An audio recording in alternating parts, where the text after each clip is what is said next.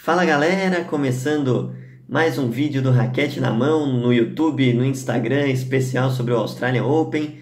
Eu sou Pedro Cardoso e vamos falar um pouquinho mais sobre o primeiro Grand Slam do ano, que chega aí, começa a funilar, começa a chegar nas fases decisivas, começamos a ter confrontos cada vez mais equilibrados e já dá para ter uma ideia mais ou menos do que esperar de cada tenista. É claro que não temos bola de cristal, o esporte é maravilhoso também por causa disso, sempre com surpresas, com mudanças.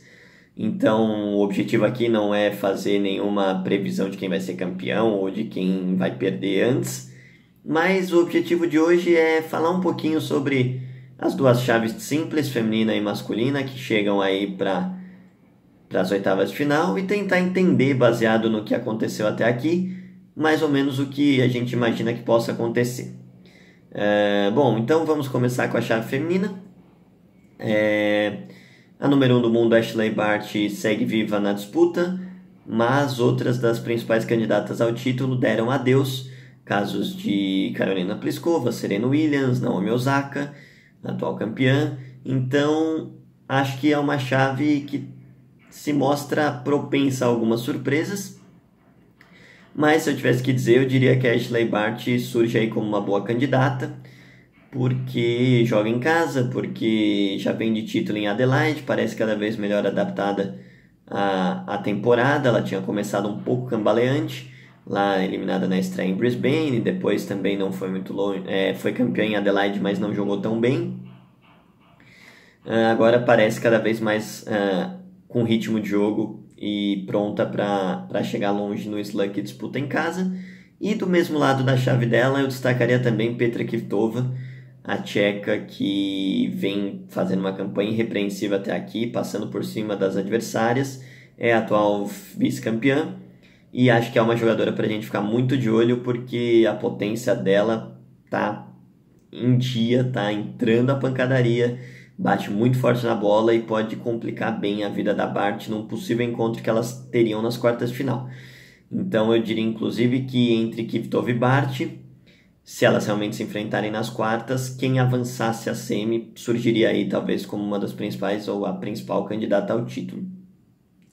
Na outra metade da chave, com a eliminação da Pliskova, a gente tem a Halep como principal candidata né, em termos de ranking mas temos outros nomes, temos Kerber, que já foi campeã por lá e que está indo quietinha, ninguém olhando muito para Kerber, mas vai avançando e acho que pode, pode fazer algum estrago, assim como a Kiki Bertens, que é uma top 10 muitas vezes que fica um pouco escondida, assim, não é muito midiática, as pessoas não olham para Bertens com tanto carinho, mas vai avançando também e é bom ficar de olho porque é uma grande jogadora ali também no top 10, enfim.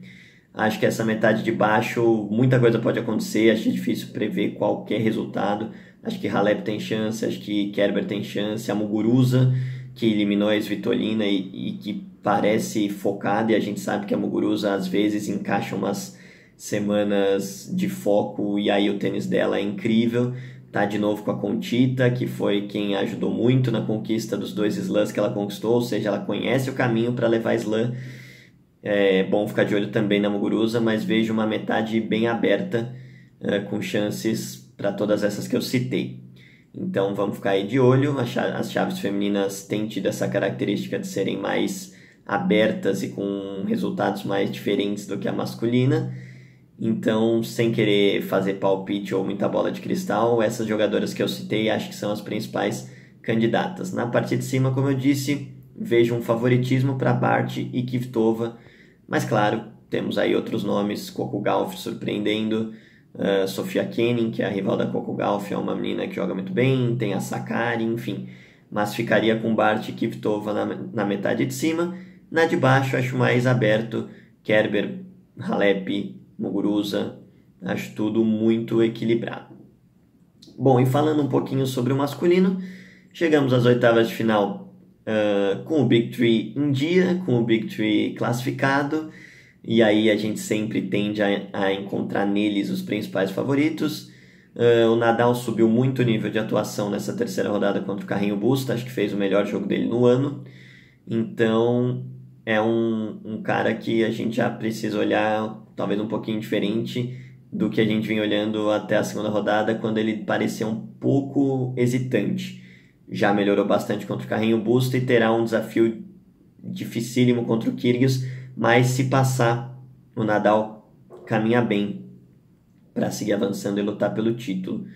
Uh, ainda nesse quadrante, acho que podemos citar o próprio Kyrgios, que vai fazer um jogaço com o Nadal e se avançar pode se tornar extremamente perigoso.